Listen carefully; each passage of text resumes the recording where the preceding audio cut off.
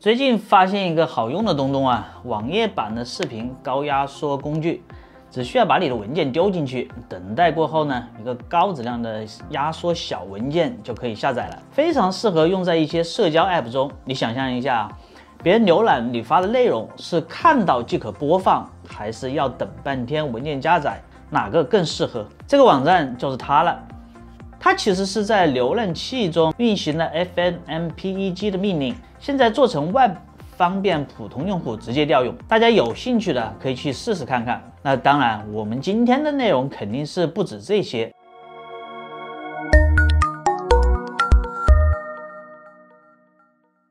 由于是 Web 端，命令参数啊无法自定义。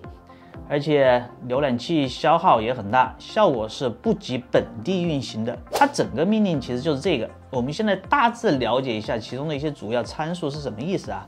这个二六四就是目前主流的 H 二六四压缩编码，而这个 Fast Start 就是让原数据前置，视频还没有完全下载的时候呢。哎，我们其实就可以开始播放了。另外，这个 CRF 三零它其实就是动态码率，它是我们压缩的一个关键词。而最后的这个 Process Super Fast，意思为提升压缩的速度。可能我说的不是很严谨，或者是有些地方不对啊，欢迎大家指点。我也是自己摸着搞的，这中间也去问了一下 Chat GPT。好，大致了解了以后呢，现在开始部署到本地。首先，我们需要在 Mac 上安装 FFmpeg，这个通过安装 Homebrew 来解决。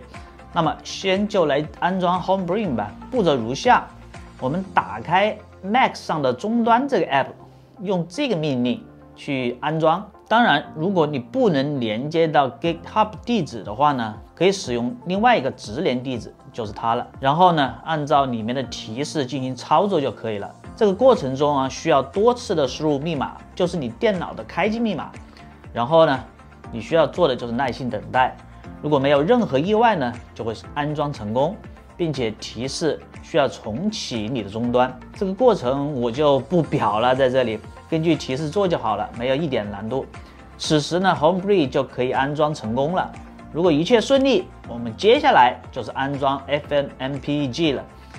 安装完成以后呢，可以在终端中执行如下这个命令来查看我们安装的版本。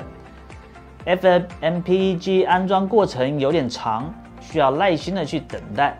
好的，这样准备工作完成以后，我们利用 Mac 的自动操作这个功能来实现直接右键自动执行压缩。打开自动操作，我们选择快速操作，左边栏找到实用工具，再找到运行 Share 脚本。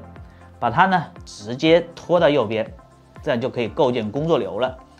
把上面的自动文本改成影音文件，而旁边改成访达。下面的传递输入选择为自变量，把这内容全部清除掉，粘贴这个完整的命令。它的大致意思，这个二二四就是帧率为二四帧，后面的 A A C 一二八呢就是音频的处理。好，我们点击尝试运行看看，哎，可以，接着保存。起个名字，最后呢，就是来看看效果了。这是个一点一 GB 大小的一个文件，右键选择快速操作，压缩视频。稍等片刻以后呢，我们得到最后的文件大小还不到五十兆。好，你们觉得怎么样？今天这个所涉及的命令啊，都来自于 ChatGPT 和网友。